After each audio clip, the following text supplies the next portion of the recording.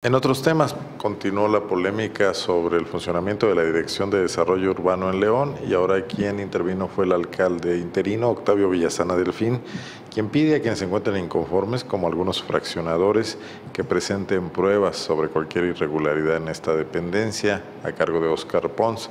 Esto después de que algunos consejeros de la Cámara de la Vivienda en León señalaran que en ocasiones sus trámites para desarrollos inmobiliarios se ven frenados por anomalías o por un mal funcionamiento de la Dirección de Desarrollo Urbano.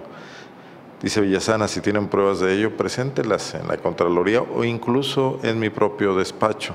Dijo que hasta ahora solo hay supuestos. Estas son sus palabras.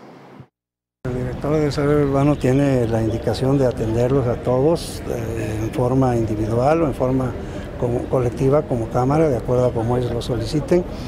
Eh, mi petición hacia los eh, desarrolladores es que cualquier eh, irregularidad que ellos vean, que nos la hagan llegar, que la documenten, pero obviamente, o sea, que, que sea algún comentario que venga soportado con evidencia.